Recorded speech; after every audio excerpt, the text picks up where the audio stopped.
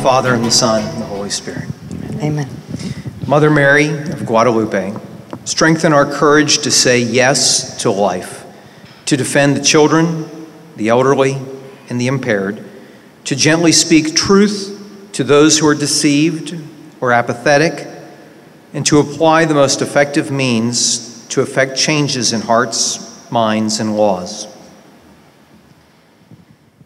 Mother Mary of Guadalupe, strengthen our compassion to be there for those tempted to abort, to comfort those suffering from past abortions, and to offer freedom to those ensnared working in the abortion industry. Mother Mary of Guadalupe, strengthen our faithfulness to dedicate our families, our businesses, our ministries, to honor each precious life so that our loving example will inspire others to do the same. Keep us, us close, to Jesus so, that his grace flows through us to bring his life to the world. Amen.